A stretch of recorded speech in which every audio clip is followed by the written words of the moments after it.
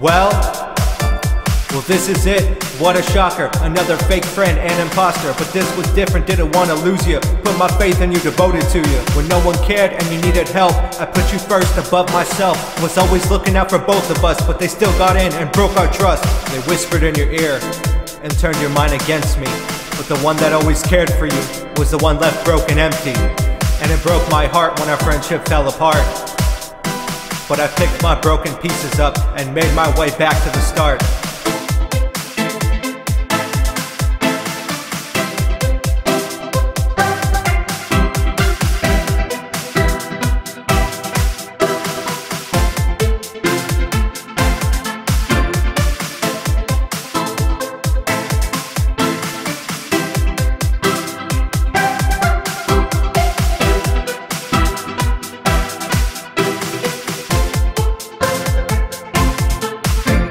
I kept it to myself for years, bottled up inside. Never cared to share too much about the part of me that died.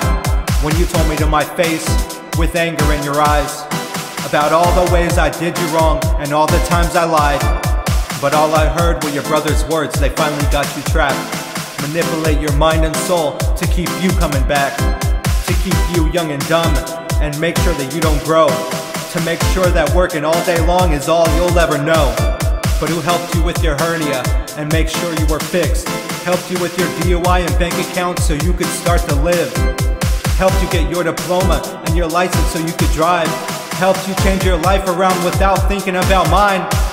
I helped you start a business right so you could have a chance at life.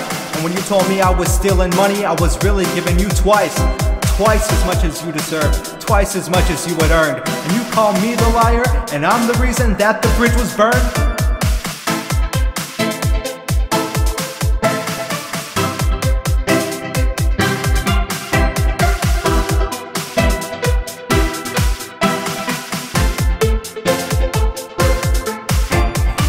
Tell I hold a grudge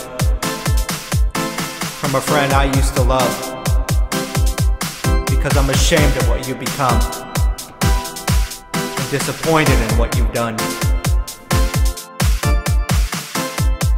I just guess I never really knew you.